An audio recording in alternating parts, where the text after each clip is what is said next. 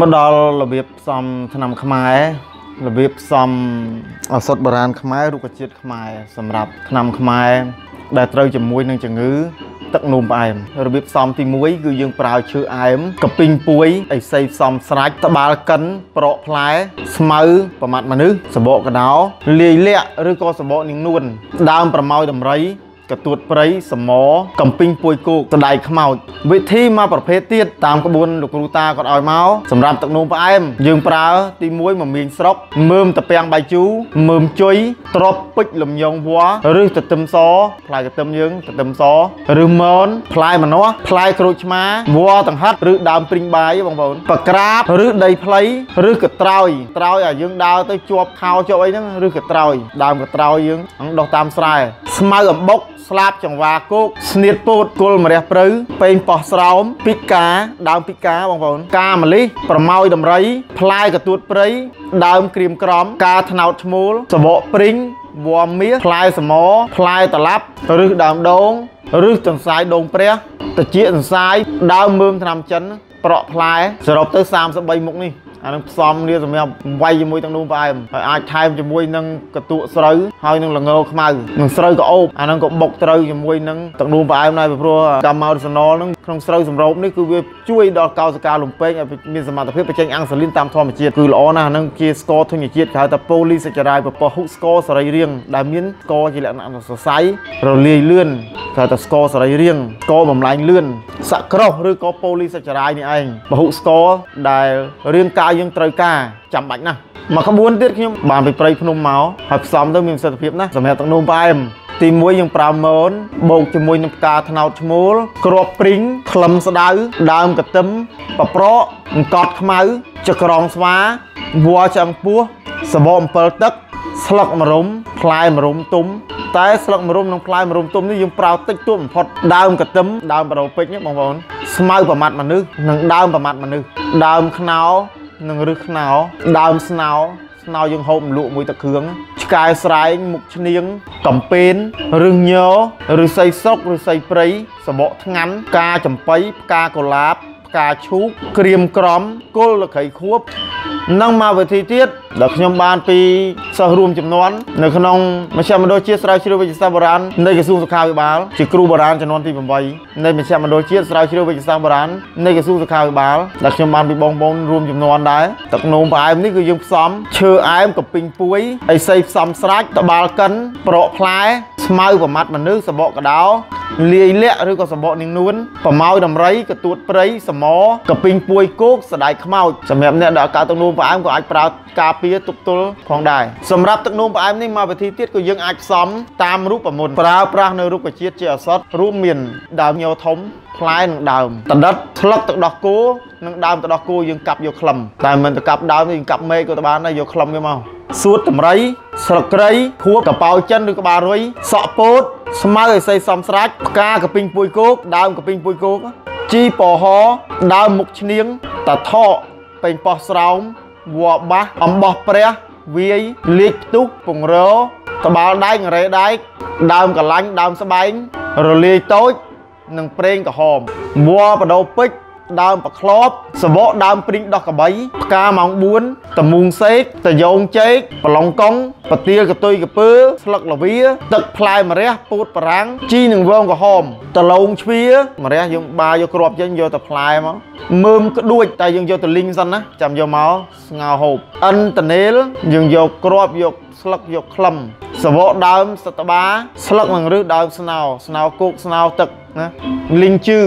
ខ្មែរយើងហៅតែផ្សិតនេះរាជចិនហៅលីងជឺឬដើមកឆាយម៉ូនប្រក់ផ្លែទ្របពេជ្រលំញងប្រមាណមុខហ្នឹងគឺសម្រាប់គុំបញ្ចូលគ្នាស្ងោរហូបឬក៏ត្រាំស្រានិងសម្រាប់ទាំងដួងផ្អែមហើយក៏យើងអាចស្ងោរបន្ថែមជាមួយនឹងម្ទេសទុំដែលអត់មានជាតិគីមី យកទៅហាលស្ងួតឬយកទៅស្ងោរជាមួយបន្ថែមទៅក៏អាចបញ្ចូលបន្ថែមដែរនិងក៏ប្រកែដែរវិធីមួយទៀតយើងយកស្លឹកស្ដៅស្លឹកតើយស្លឹកម្រុំយកមកស្ងោរហូបស្លឹកម្រុំយើងប្រើតិចបំផុតស្លឹកតើយនិងស្លឹកស្ដៅយើងអាចប្រើច្រើនវិធីមួយប្រភេទទៀតសម្រាប់ជំងឺទឹកនោមផ្អែមគឺយើងប្រើដើមធ្លកវ័ក្រៀមក្រំឬដើមក្រូចឆ្មាឬដើមក្រូចសើចស្ករដំបែ3ខាំនឹងយើងយកមកប្រមូលមកយកមកដាំទឹកហូបវិធីមួយទៀតសម្រាប់ ជំងឺទឹកនោមផ្អែមគឺយើងអាចប្រើបញ្ញាក្អែកដើមក្រូចសើចឬដើមសដាន់បញ្ញាក្អែកដើមកទិញស្លឹកម្រះព្រៅស្លឹកដើមម៉ៃសាក់ឫស្សីសុកឫស្សីព្រៃដើមផ្ចិតតមូលភ្លើងមរែងភ្លើងចក្រងស្វាសបកដើមស្ដៅសបកដើមរាជគ្រឹះស្លឹកស្ដៅស្លឹកក្រូចសោចវល្លបដោពេជ្រនិងយើងយកមកហាលឲ្យស្ងួតដាំទឹកហូបនិងសម្រាប់ទឹកនោមផ្អែមសម្រាប់ថ្នាំ កាពះពវៀនប្រើវល្លតដិតវល្លសមៅព្រៃសបកថ្មៀសបកលវា មុខឈ្នៀងវល្លបាសមើមថ្នាំចិនវល្លរមៀតសបកកស្លឹកទឹកដោះសបករលួសសបកចបកឆ្កែស្រែងប្រទាលកតុយកពើទឹកខ្មុំសបកដើមចពូសបកលមុតសបកដើមស្វាយចន្ទីបងប្អូនផ្លែលមុតខ្ចីយកមកចិតយកទៅហាលឲ្យស្ងួតវ័គុយឬវ័ជុយសបកកដើមរលួសសបកដើមពោ ដើមស្ត្រាវវ័លិញដើមប្រក់ផ្លែ ដើមពេញប៉ោះស្រោមវ័យីវសបកដើមទៀបបាយកឡោតចកចេកណាំវ៉ាដើមបាយក្តាំងសបកដើមឆ្កែស្រែងមើមថ្នាំចិន ទេពរូល្មៀតដើមកទៀនខេតត្រួយអង្គាដី ដើមអង្គាដីសបកនិងដើមអង្គាដីព្រំចារីណាអំបោះខ្មៅដៃគោច្រេះស្លឹកដើមទឹកដោះគោដើមតបាល់កិនដើមមោកគល់លខៃខួបដើមប្រម៉ោយដំរី ស្លឹកមនមើមសគូទឹកខ្ញីផ្លែប៉ោមក្រូចឆ្មាស្លឹកក្រូចសោចទ្របពេជ្រលំញងប្រក់ផ្លែដលងជ្វាក្របឈូកគោមួយតសៃ100រឹសកពុលបាយសបកនិងរឹសកវាញដើមស្មៅកវាញជ្រូកមើមក្ដួចស្វិតកទាំងទរីអេសីសំស្រាច់អំពិលដីផ្កាលឿងអង្កោលអន្ទង់សស្មាច់ទឹកដោះខ្លាធំទឹកដោះខ្លាតូចសលៃ សតបាស្ដុកស្ដោស្លឹកស្វាតស្លឹករ៉េផ្កាសមោស្លឹកនឹងដើមសេតបានក្របសណ្ដែកខ្មោចដើមសតបាលាជផ្ទុះក្របស្គួយសបកនឹងរឹសសខွာស្មៅបែកផ្សែងម្រះព្រៅខ្មោចសរាយដីខ្មោចប្រម៉ោយតម្រៃប្រមាត់មេឃស្មៅស្លាបទាសម្បុកជិះព្រៃសណ្ដែកដី ខ្លឹមសក្រំដើមរឹងរឹសសម្រោងពុក ស្មៅប្រមាត់មនុស្សស្មៅរាំងទឹកឬមើម30ការវัวអែមឬវัวយីវដើមវល្លបាសដើមវល្លតង្ហិតដើមវល្លត្រដិតវល្លលំពោះវាយក្របលហុងខ្វងសបករាំងដើមលាធំ មុខឈ្នាងសមីងមាំងមមៀងខ្មោចមងល់ពោតបារាំងដើមប៉ធ្លោកនិងដើមប៉ក្រប ឬនឹងដើមពាន់ធ្លុងផ្លែពោទីអាចមន់ទីថ្មប្រកផ្លែតយងចេកកឆែតនិងមួយវិធីទៀតសម្រាប់កាពះពវៀនទឹកនោមផ្អែមគឺយើងអាចផ្សំមកវិធីទៀតគឺមានឆ្កែស្រែងមើមថ្នាំចិនអំពៅខ្មៅយកទាំងស្លឹកយកទាំងដើមកដាប់ចអេវាយភ្លូធំវัวសម័យព្រៃ សវកស្វាយព្រៃខ្មៀមុខឈ្នៀងត្រម៉ែងគល់កទៀងខេតមួជុយនិងរឹសស្បូវនិងមួយវិធីទៀតសម្រាប់កាពះពវៀនយើងផ្សំដើមថ្នាំខ្មែរគឺយើងផ្សំវត្ថុធាតុដើមមានដើមតង្ហិតការកពីងពួយគោកការរំយលផ្លែស្លាទុំផ្លែតបែកទុំផ្លែញើទុំស្មៅកវាញជ្រូកដើមពោចសបកក្រូចថ្លុងក្រូចឆ្មាដើមកឆាយដើមឆ្អឹងមន់ខ្មៅ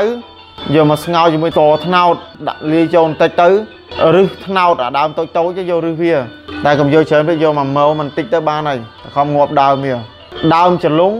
ដើមច្រត់អេសីយករុក្ខជាតិទាំងមូលហ្មងដើមច្រត់អេសីវល្លបដោពេជ្រជីវ៉ាន់ស៊ុយ